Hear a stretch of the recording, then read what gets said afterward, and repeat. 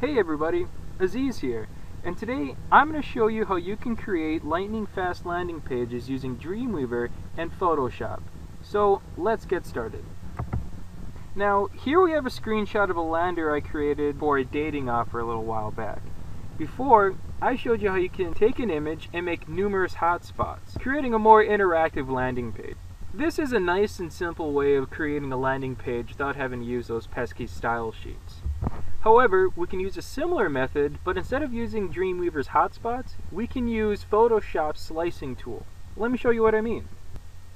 So the first thing that we need to do is to uh, select the slicing tool over here. We can also press C. Next, we can just select the areas that we want the user to click on to lead them to the offer page. This is just like using the uh, hotspot feature in Dreamweaver, except with the slicing tool, we're just creating a bunch of small images that's going to be composited together as one large image for our landing page. So we'll just select the profiles here. We'll select this, our bullet points again, and our call to action.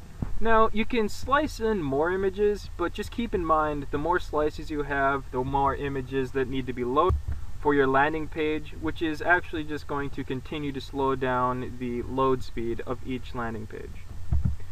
Once we've gotten everything all sliced up, we can then save this as an HTML. So we'll just go up to File, and then Save for Web and Devices. Then here we can select the uh, file size that we'd like to save our entire image as. I'm just going to go with this one here. It seems to be just fine. Just hit save. And for the file name, I'm going to choose something simple, just like index. And then in format, I'll make sure that I have selected HTML and images. Now I'll just hit save. And what results is this. So this image file just has all the sliced images that we just created with Photoshop. Next, I want to create a hyperlink for each one of the images I just sliced. So I'm just going to open up my index HTML file with Dreamweaver. And as you can see, all of our sliced images have been compiled into one seemingly large image. Next, I'm just going to center this entire thing, so I'll just drag over and then align, we'll click center. Then all we need to do is create a hyperlink for all of our sliced images.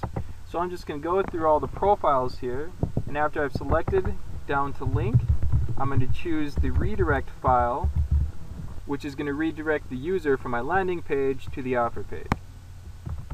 So I'll just continue to do this same thing for all of the images uh, that I would like to use as a hyperlink for my landing page.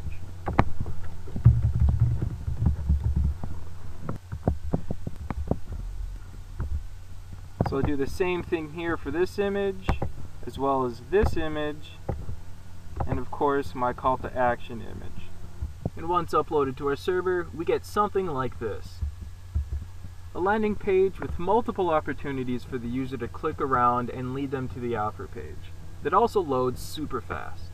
Well everyone, that's how you create a fast loading landing page using Photoshop slicing tool. Feel free to leave any questions or comments in the section below or email me at aziz at ipixel.com. Thank you for watching and take care.